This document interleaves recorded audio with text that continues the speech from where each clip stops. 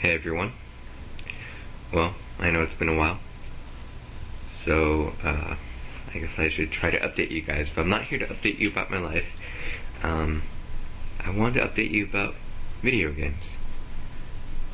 Now, um, one of my friends from Fry's, he was reading through a video game magazine, and he told me about this one game that was coming out and it took me by surprise because most of the time you hear about them and you think, well, it's just a rumor.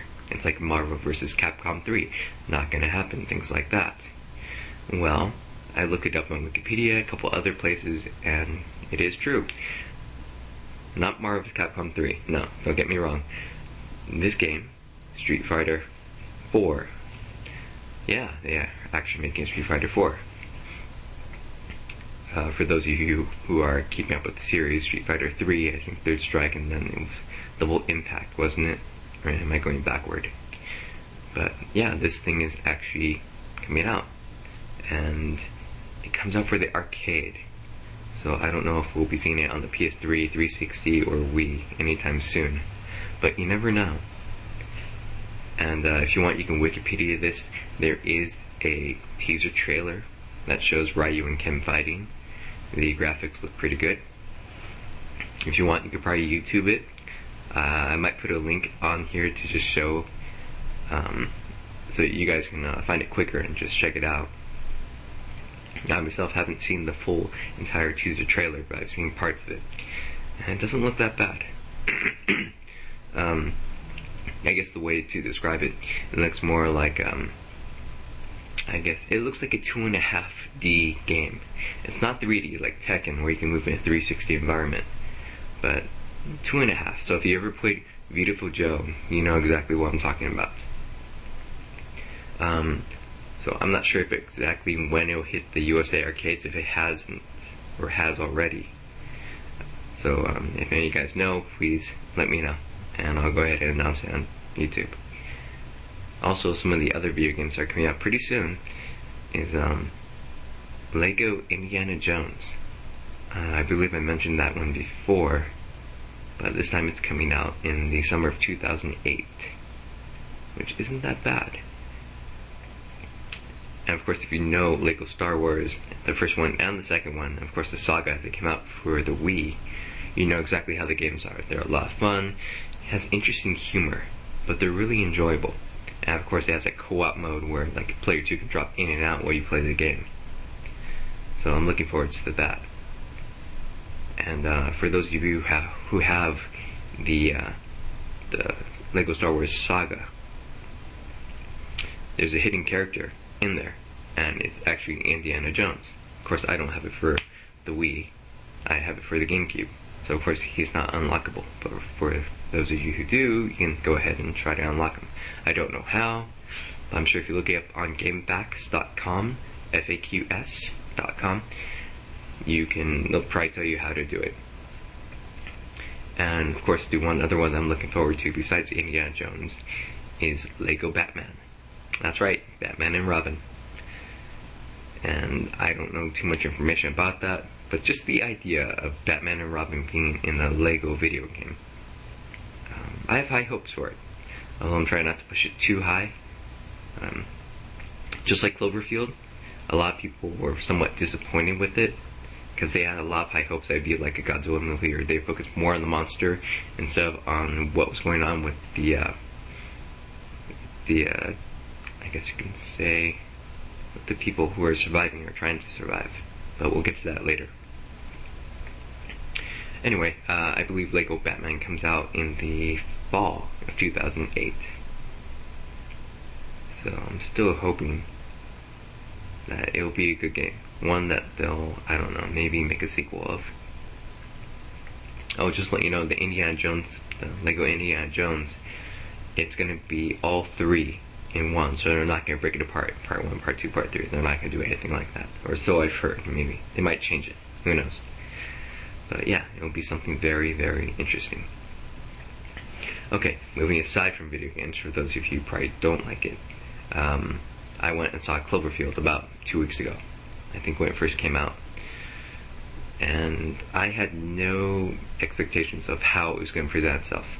I saw the trailer just like everyone else when we were watching Transformers, and that was the only time I really saw a trailer for it. But I heard there were other trailers. I didn't really get a chance to catch him. Um, I liked it. Uh, for the most part, is that it made you feel like you were really in the movie. Just the way that this character was holding the camera. Um, the thing that I always use to try to, um, how do you say? I guess the mood that it puts me in when you see these people running scared trying to survive is it makes you feel like it's 9-11 you see the buildings fall and then you see everyone trying to run help each other and escape. And that's the feeling i got. Um, so it got me quite emotional. And in some ways uh, um, i would say i liked that part but it got me more into the story because you you had more empathy for them you know what they were going through, or the idea of what they were going through. And I guess just the feeling of wanting to survive. And so, yeah. I mean, some people really wanted to see that monster movie, but I don't know. Just think of it as uh, a side story to this. And if they make a Cloverfield 2, maybe they'll focus on the monster where it came from, maybe what happened afterward, or maybe they'll find another video and show a different aspect. Maybe it's the military's video. Who knows? Um, and one thing I'm sure everyone's probably wondering, or some people are wondering, is Cloverfield the name, where that came from. And I actually looked it up, and um, Cloverfield is actually a street name, a main street, in fact, in was it? Where was it? Well, the producer, he had he um, his studio or his office is in California near Los Angeles, and one of the main streets on there is called Cloverfield. And when they were emailing back and forth about this movie, talking about it, or talking about, I guess, what to call it, they got tired of calling it monster movie, monster movie, monster movie, or talking about the monster constantly, so they decided to code name it. And so Cloverfield became the code name, and they just went with it, and that's why it's called that. Nothing to do with the movie, sadly, but I thought it'd be interesting.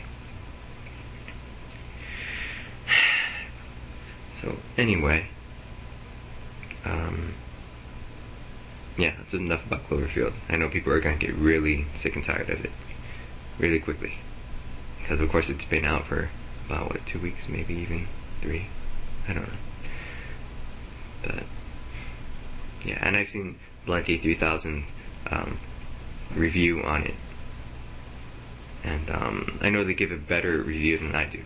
So if you guys really want to hear what a lot of people have to say about it, um, has this video where it's him and four other guys, and they all take the different aspects of Cloverfield. They review it, why people didn't like it, why people did like it, certain things about it.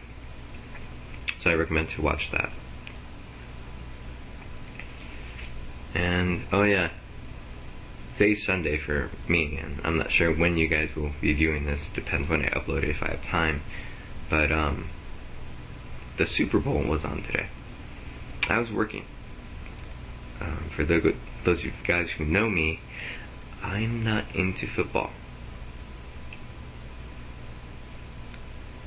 Um, not really. So the idea of everyone taking bets and everyone talking about football and people yelling in the store bugs the hell out of me.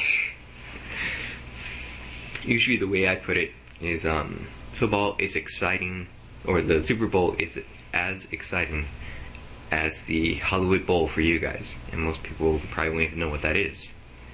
Um, for those of you who don't know what that is or never heard of it, the Hollywood Bowl is in Hollywood. It's kind of like a half dome shaped, and that's where they have um, orchestras and I guess you can say bands where they play their music. And I guess most people would find that boring. Um, I don't. But that's how I see football. Anyway, um, I don't even know who won. Of course, um, I'm sure my dad's watching, and everyone else in the whole entire world was watching, but eh, not me. Anyway, um, that's gonna be it for now. Hopefully, I'll have an update for you by the end of this week. I'm not making any promises, but I'll have an update for you soon. And for all of you who are new to subscribing, thank you for subscribing. And uh, hmm, feel free to check out my other friends, the people who I subscribe to. Because there are a lot of them and they have great videos. I'm sure you'll love them. So um, that's going to be it for now. Take care. I'll talk to you guys later.